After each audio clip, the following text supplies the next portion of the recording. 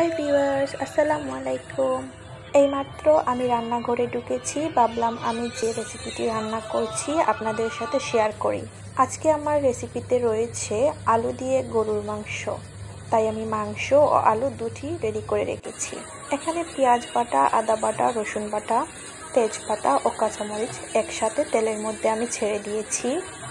তারপর দিয়েছি গুঁড়ো মরিচ, লবণ, হলুদ পাঁচ ফোড়ন জিরে গুঁড়ো ও গরুর মাংসের মশলা, সাথে আছে পরিমাণ মতো লবণ।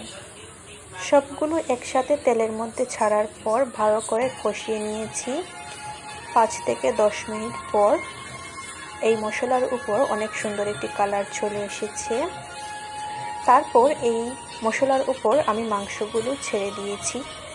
আমি আগুনটা অনেক কমিয়ে রেখেছি যাতে যত সময় যায় রেসিপির কালারটা ততই সুন্দরভাবে বৃদ্ধি পায়।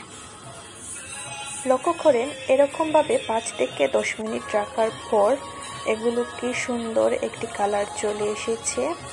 যতই সময় যাচ্ছে, ততই কালারটা একটু ডিপের দিকে চলে যাচ্ছে।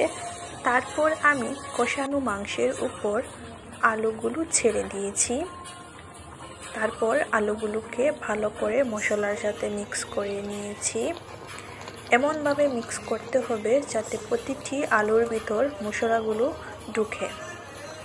কষা মাংসের সাথে আলুগুলো মিক্স করার পর পাঁচ থেকে দশ মিনিট আপনারা রেসিপিটি থেকে রাখতে পারেন।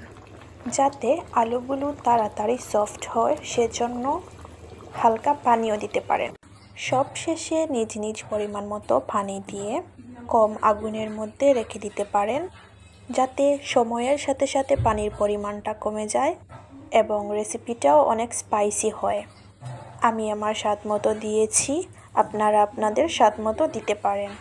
আমার ভিডিওটি ওয়াচ করার জন্য সবাইকে থ্যাংক ইউ সো মাচ নতুন রেসিপি নিয়ে আবারও দেখা হবে। আল্লাহ হাফিজ।